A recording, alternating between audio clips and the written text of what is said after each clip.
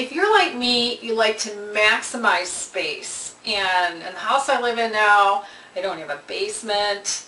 Um, there isn't a whole lot of storage, so I've had to be creative.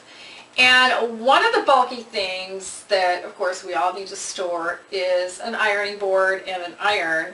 I'm also quite petite, so putting things up high can be a real pain in the neck for me.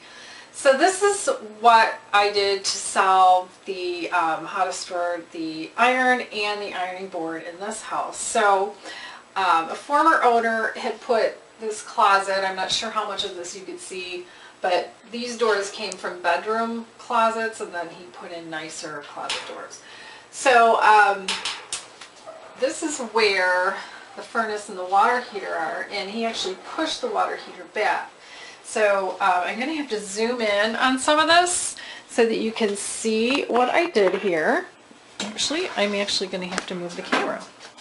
It's easy with the tripod and everything. And now I'm going to have to zoom out. So um, I got one of these hangy things. So let me actually move the camera. And it's mounted on the wall with some pretty heavy duty bolts. And I'm going to take off the um, the ironing board so you can see. The problem is that at the base there is a water meter. Now that's going to be really dark. And so we needed for the, um, the ironing board to clear the water meter. And again, I'm short. So I would have liked to have had that space down there at the bottom so I didn't have to have the ironing board so high. But I can get it up and off there. I guess the more um, concerning piece was could I get this um, iron up here and I can just barely without getting without getting a step stool out. So and by the way this iron I really like this is uh, Panasonic. It's my second Panasonic. Between the last Panasonic and this one I had a Sunbeam that I absolutely hated and it was bigger than this and I had to adjust the, oh, it was a pain. So this one's really nice and has a retractable cord. So I can, with one hand, I can put that in here. Now there are a couple other things up here. Hopefully you can see what I'm doing. Um, uh, I'm going to bring this in. So to the left and right of the iron, there are these holders that could hold a can of spray starch, but I don't use them because I put distilled water into my iron. Okay, so then putting the, let me see if I can do this without my back being facing you here. So I can take the iron board and I can just put it in right here.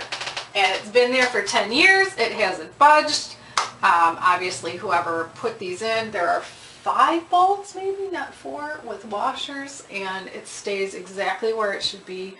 And like I said it clears the the water meter at the base. So that's what I use. Now my last home let me see if I can do this.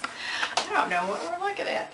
In my last home um, I didn't have this. I actually had a condo and in a closet. I had a closet built with shelving and that but I had two long pieces of shelving put about this far apart lengthwise and then I could put the ironing board in there and then just store the iron somewhere else in the closet. So there are ways to work around small spaces and tight spaces, but you just have to get creative and work with people who will help you put things away. I didn't want my ironing board out and showing like in the middle of the utility room or um, laundry room. So that's why I wanted the closet. So anyway, that's my solution. I love this thing, this rack. Um, I'll look it up online to see if I can find one like it.